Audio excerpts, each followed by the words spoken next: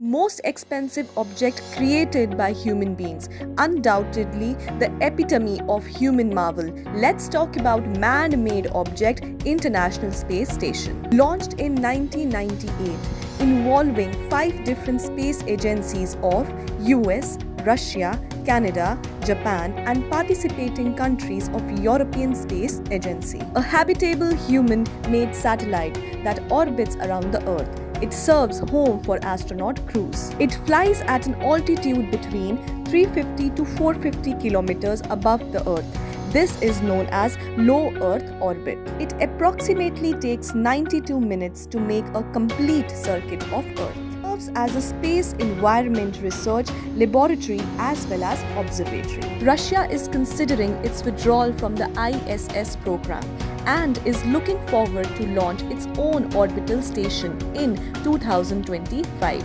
India also plans to do the same. Mir was the first modular space station that operated in low Earth orbit from 1986 to 2001. It was succeeded by International Space Station. China's first prototype space station was Tiangong-1. China is all set to launch its own space station. Tianhe or Tianhe core module is the foundation element of Chinese space station launched via Long March 5B rocket. It made headlines when the Long March 5B rocket itself entered a temporary orbit, setting the stage for one of the largest ever uncontrolled re-entries. Weighs almost 21 tons, roughly the size of a 10-story building. This is among the four cases of re-entry of uncontrolled space debris the biggest being 75 ton Skylab space station of USA